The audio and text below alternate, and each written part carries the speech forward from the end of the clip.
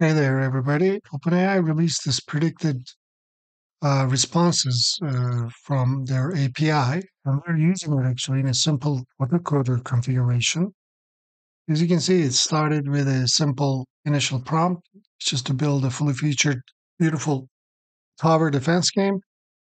And it is currently going. The first iteration was 175 lines, and in iteration 21, it's a, it was able to write 319. It's still going. It's going to go for about uh, 50 iterations.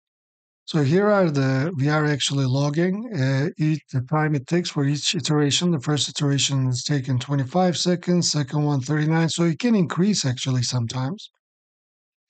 Yeah, so we are actually going to plot it, but see the 11th iteration only took six seconds. It all depends on um, how much code it returns, how much it modifies it.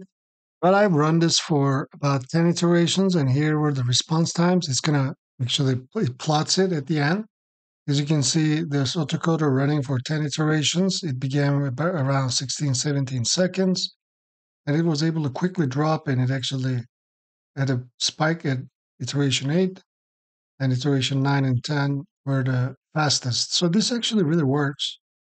It'll be interesting to see uh, the plot after 50 iterations. I'll show, show you that. You can actually uh, download, we'll review the code here while we are waiting for the code to be generated, the full iterations to be done.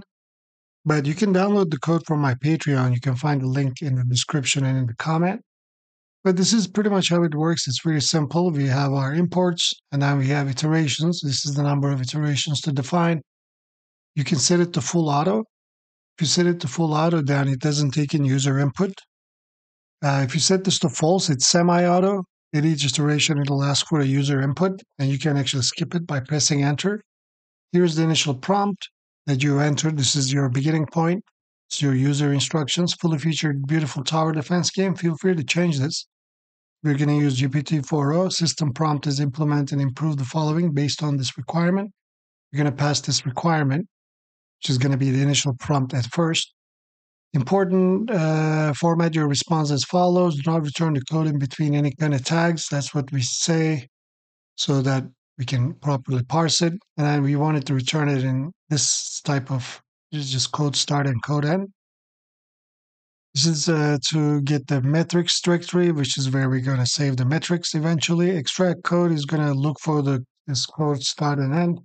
Let's try to remove the triple backtick Python. If it exists, save code is just going to save generated code with uh, iterative numbering. As you can see, we are, by the way, up to 423 lines of code. Yeah, almost, it added uh, almost 100 lines of code since we started the video. Anyway, so we get improved, get improved code function is going to take in current code requirements and a client, which is going to be OpenAI client. Pass in the system message, we pass in the current code. So here is where the difference is. We also pass a prediction parameter with type content, and we pass in the content that we uh, know we are modifying. In this case, it's going to be current code, but only if you have a current code. Otherwise, it's going to be none.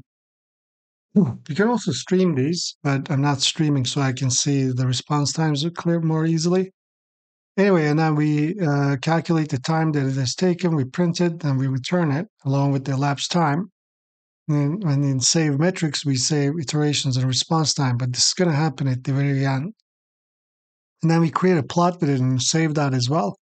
In our main function, we initialized OpenAI client uh, and then go through the iterations. So uh, if the requirement, if if for iterations, um, if if if we have an initial prompt and if it's um, the zero, then we use the uh, initial system prompt. Otherwise, we just use this, improve the code by adding new features and improving existing ones, as well as better code quality. If we have set that to full auto, otherwise we take in user input, or if user skips, we again use the same instruction. So if you set it to full auto, it will always use this. If you set full auto to false, then it'll ask for user input. But if user skips, then we uh, use the same instruction again. Then we get the response text and time. We append it to the timing data, extract the code, save the code, save the metrics at the very end. And that's about it.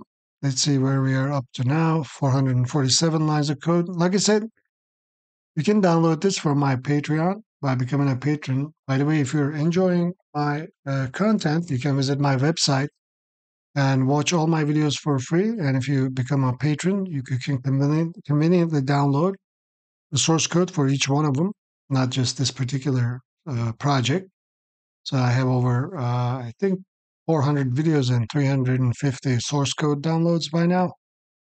Also, if you're interested in learning how to code with Cursor, which is the best uh, way to code by now, bar none, you can check out my 1000x Cursor course, which has now 28 and over uh, 19 hours of content.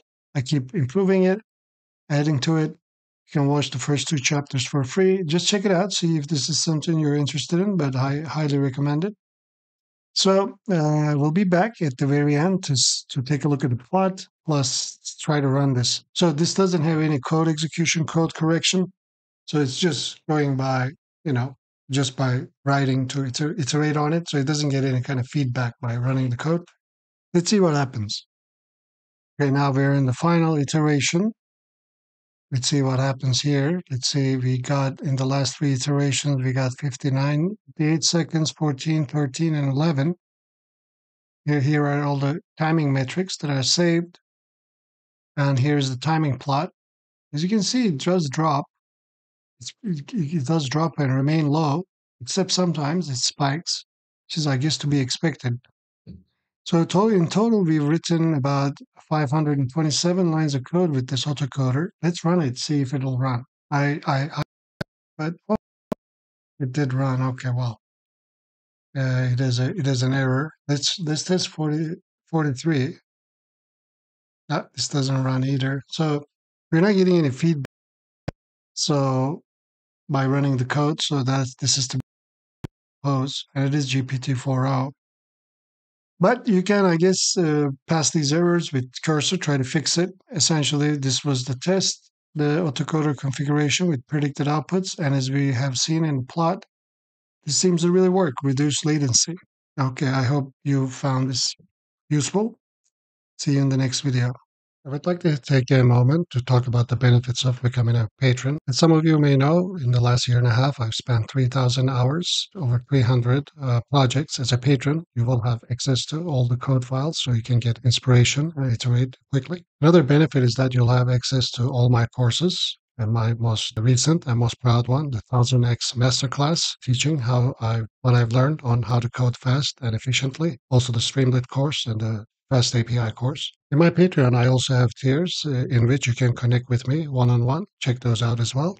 I've now, listen to me, I've been trying to code, and you know, like I like coding, uh, the fact that I can code and make things happen, but how do I do it? I mean, fast with AI. I'd heard about it, it's easy. So, um, I came across 1000x cursor course and that's great, you know, it just made everything super silky smooth. It just it just worked. I'm, I'm telling you. Uh, 1000x your coding